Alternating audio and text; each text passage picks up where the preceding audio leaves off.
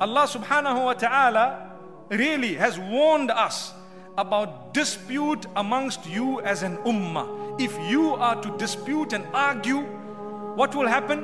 You lose your power and your might as an ummah. Today we have 2 billion Muslims on the globe. We cannot agree to swat a fly. I'm honest with you.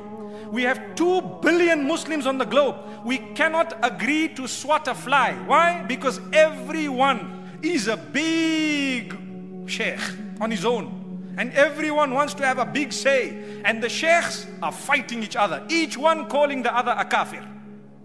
Wallahi, it's a reality. So, what is happening?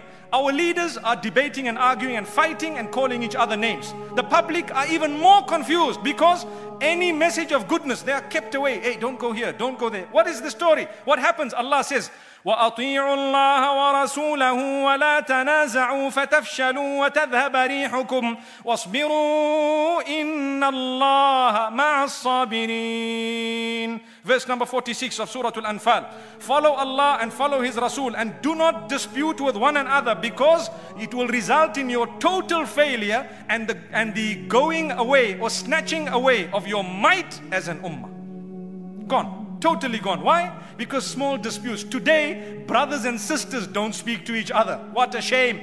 Uncles and aunts don't speak to each other. Trustees from one masjid do not get along with trustees from another masjid. Why? It's an issue of prestige. Allah, what are you talking about? We are an ummah. We share the shahada. That's enough. Put aside your differences and come together. We need the might as an ummah. We have the numbers, we have everything. But the problem is we are disputing. And so Allah subhanahu wa ta'ala warns us in another verse in the Quran. Do you know what He says? والذين كفروا بعضهم أولياء بعض The kuffar, they are supporters and protectors of one another.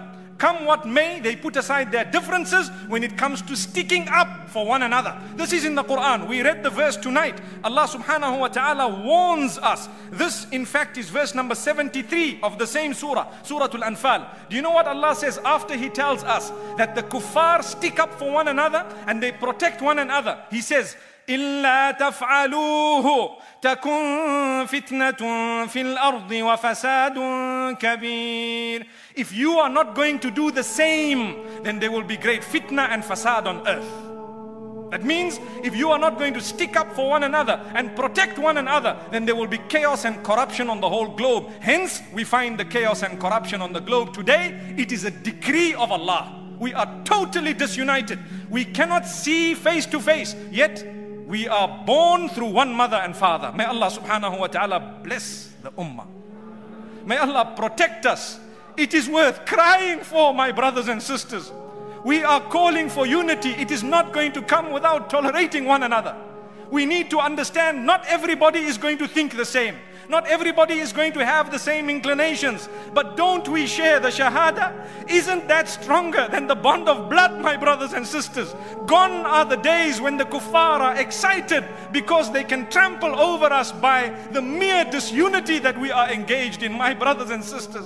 We need it, we need it desperately. Our brothers are suffering across the globe, all over. The reason is we are swearing one another, we are calling one another names. We do not want to look at one another, whereas we all utter the Shahada Ashhadu an la ilaha illallah wa ashhadu anna Muhammadan abduhu wa rasuluh.